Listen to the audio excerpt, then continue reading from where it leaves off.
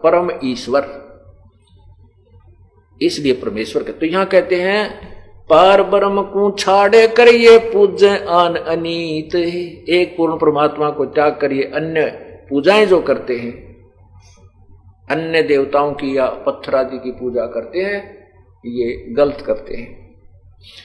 अपुणात्मा जैसे भगवान विष्णु जी कह रहे हैं, देवी भागवत के अंदर। कल शाम को जो आपको दास बता रहा था कि विष्णु पुराण में ऐसा लिखा है, वो विष्णु पुराण में नहीं था, ये देवी भागवत महापुराण में है। वो कल विष्णु पुराण नहीं था, ये इसमें लिखा हुआ है। तो अब जैसे आपने पढ़ा है, भगवान विष्णु जी कहते हैं कि मैं तो देवी की पूजा करता हूँ, इससे आगे कोई भगवान, कोई देवता नहीं है, इससे ऊपर कोई शक्ति नहीं है। अब ये नहीं है कि देवी की पूजा से कोई लाभ नहीं है। देवी की पूजा से भी बहुत शक्ति आती है। देवी की पूजा करके ही भगवान विष्णु तीनों देवताओं में से एक शक्ति युक्त है। इसे बहुत सी सिद्धियाँ आ जाती है और शक्ति आ जाती है, लेकिन मोक्ष नहीं होता। मोक्ष नहीं है। तो यहाँ क्या बताते हैं कि पार ब्रह्म को छाड़े करिए पूज आन अनीत। चेतन से सेती, ओलने फिर जड़ सेती है प्रीत। अब आखिर में कहा लाकर के छोड़ दिया इन अज्ञानी संतों ने? पत्थर की मूर्ति की पूजा के ऊपर हमें आधारित कर दिया। परमात्मा कबीर जी कहते हैं, मूर्ति बुरी नहीं है, मूर्ति की पूजा करते हैं, वो जीवन व्यर्थ कर रहे हैं। जैसे एक सेब सेब फल होता है, आम का फल है, सेब का फल है। अब सेब के या आम के फल की मूर्ति बना ले। चाहे वो पत्थर की बना लीजिए और चाहे चित्र। उसका पेपर पर, कागज़ पर बना लीजिए। वो मूर्ति है, वो सेब नहीं है। वो आम नहीं है, वो केवल चित्र है। और उसके चित्र के ऊपर आधारित रहने से ना सेब का गुण मिल सकता और ना आम का गुण मिल सकता। वो चित्र बुरा नहीं है, वो चित्र तो प्रेरणा देता है कि ये फल ऐसा स्वादिष्ट है, इसमें ये गुण है, उसको प्राप्त कैसे करना है, वो कहाँ मिलता है? वो ज्ञान अलग है। वो ज्ञान है कि मजदूरी कर, मेहनत कर, पैसे इकट्ठे कर, कमाई कर और कमाई करके फिर मंडी में जा बाज़ार में जाइए, वहाँ सेब का फल लेकर के खाइए, जिसकी मूर्ति आपने देखी और जीव ललचाई, आपके मुँह में पानी आया, वो वो फल इस तरीके से मिलेगा। ऐसे ही जिन भगवानों को की आप मूर्ति की पूजा करके वहीं पर उस पर दीप धूप करके उसी के ऊपर मत्था टेक टैक कर वहीं सेट हो गए, कहते हैं, इस, जिस भगवान की तू मूर्ति कर, पूज रहा है, इस भगवान के जो गुण हैं वो ये मूर्ति नहीं दे सकती। वो तो वही भगवान जिसकी तो मूर्ति लिए बैठा है, वो कैसे मिले? उसका तरीका अलग है। उसके नाम की कमाई कर और फिर वो भगवान आपको अपने वाले जितना उसका गुण है,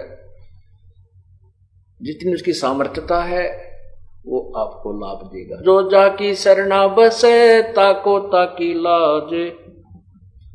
जल सो ही मछली चढ़ जाए, बह जाते गजराज।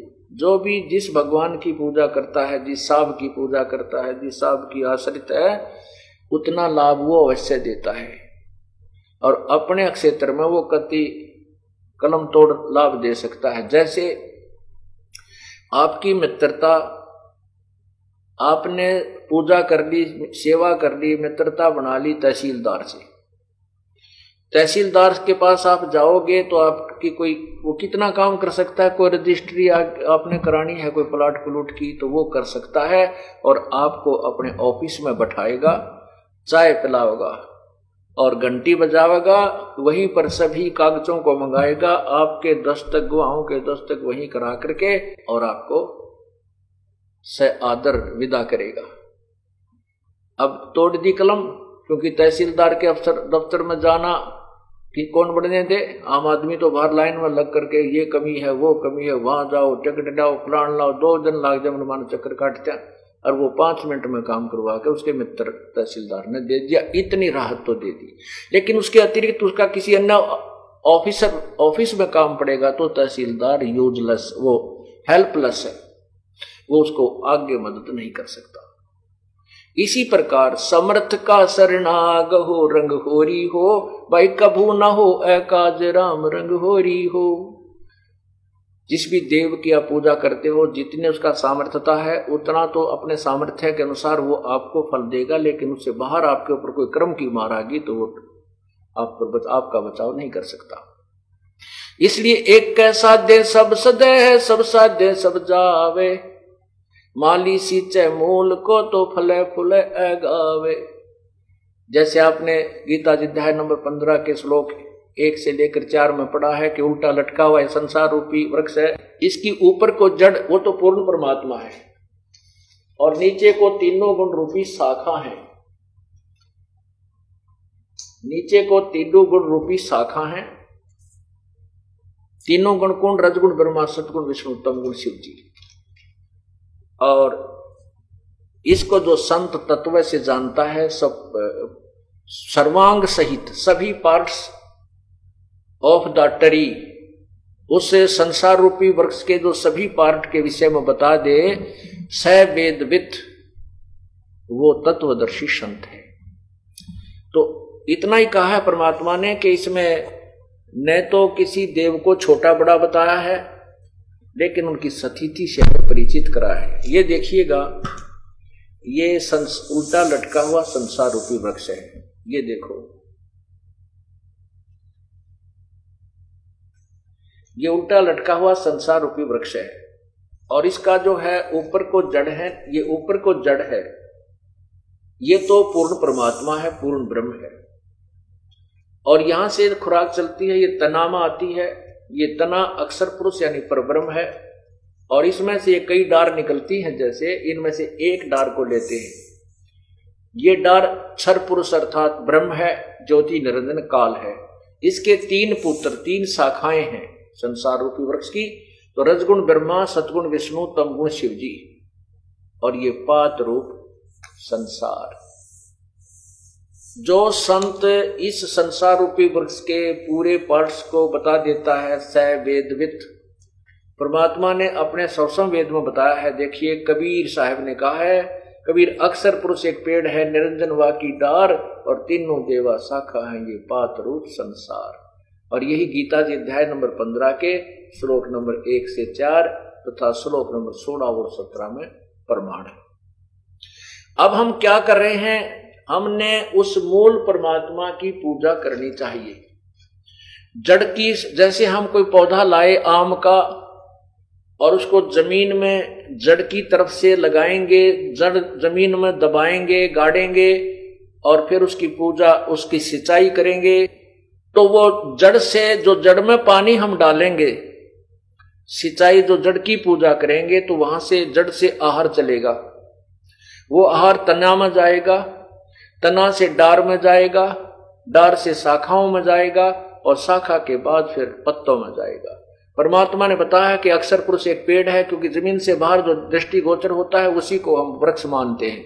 नीचे जो अव्यक्त है जो जड़ दिखाई नहीं देती है वहाँ से ये खुराक चलती है। इसलिए ऊपर के उप, का बताया है अक्सर पुरुष यानी परब्रह्म तो एक पेड़ है और वो तना है और ये निरंजन, ज्योति निरंजन, ये क्षर पुरुष उसकी डार है और तीनों देवा, रजगुण, गर्मा सतगुण विष्णु तम गुण जी, शिव जी रूपी शाखा है और फिर पात रूप संसार।